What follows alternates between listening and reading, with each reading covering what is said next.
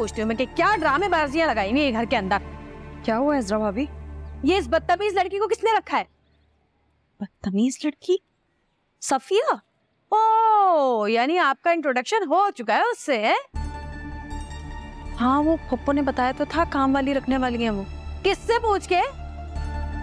अब पप्पो को किससे पूछने की ज़रूरत है? वाह भाई, वाह वाह वाह, क्या बात है। यानी कि सब लोगों ने उस बुढ़िया को अपना हुक्मरान पहले ही मान लिया है जरा मुझे ये बताओ कि एक गैर औरत घर में आती है और सया सफ़ेद की मालिक बन जाती है, घर के बड़े बड़े फैसले करने लगती है और बड़ी बहू से पूछा तक नहीं जाता, मशवरा तक नहीं लिया जाता। ये कहाँ का इंसाफ है भाई? नहीं, अजरा भाभी, आप इतना नेगेटिव क्यों सोच रही हैं?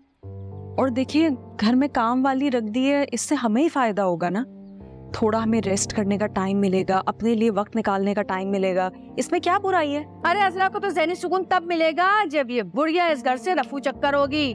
वरना सुकून नहीं पाऊँगी मैं बता दिया मैंने। हाँ मुझसे नहीं हो पाएगा। भला बताओ काम वाली रखी? तो वो भी ऐसे ही इंतहाई बदतमीज बिल्कुल पुप्पो उसकी बेटी और उसकी बेटी की तरह।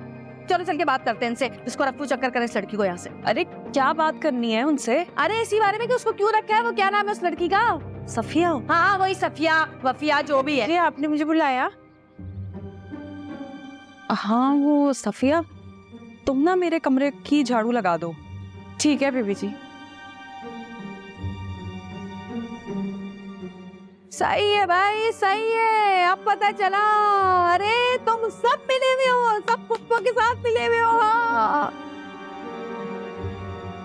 नहीं नहीं, अजरा भाभी, ऐसी बात नहीं है। हाय अजरा, तू ही पागल है जो इन घर वालों के लिए। फ़िक्र में गोली चली जा रही है। कोई नहीं है तेरा, अकेली रह गई तू अकेली। अरे, मेरी बात तो सुने। खबरदार मेरे पीछे नहीं आना। अजरा भाभी हो जाओ।